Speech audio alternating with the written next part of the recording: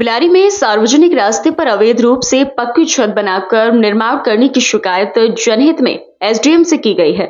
ज्ञापन में कहा कि पुराने विल्सोनिया मार्केट के सार्वजनिक रास्ते का उपयोग आम जन आने जाने में करते हैं और हाईवे पर गुजरने के लिए भी इस रास्ते का प्रयोग होता है।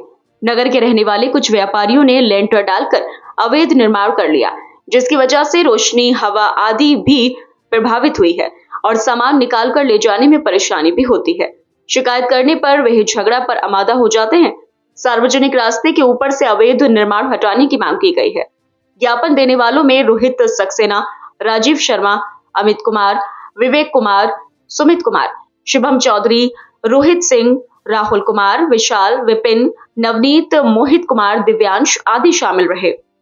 क्या आपका? राजीव शर्मा नाम है। अच्छा आप किस संबंध में यहाँ पर ज्ञापन देने आए हैं? आज हम श्रीकांत जी के खिलाफ ज्ञापन देने आए हैं क्योंकि राम बाबू की दुकान के पीछे जो बिल्सोनिया मार्केट है वहाँ पर उन्होंने इलीगल तरीके से एक आम रोड पर 10 फीट का एक ऊपर लेंटर डाल रखा है जिससे आने वाले जो लोग वहाँ से जा रहे हैं उनको बहुत दिक्कत का सामना होता है। जैसे अगर हम वहाँ से जाते हैं तो वो हमको रोका टाके भी करते हैं कि ये आम रास्ता नहीं है जबकि वो एक आम रास्ता है। वहाँ पर सभी निकलने वालों को बहुत बड़ी परेशानी हो रही है।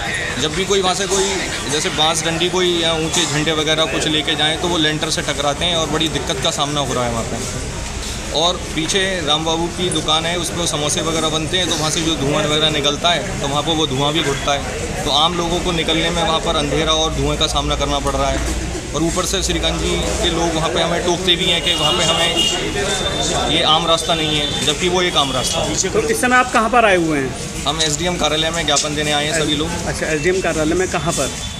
बिलारी। बिलारी।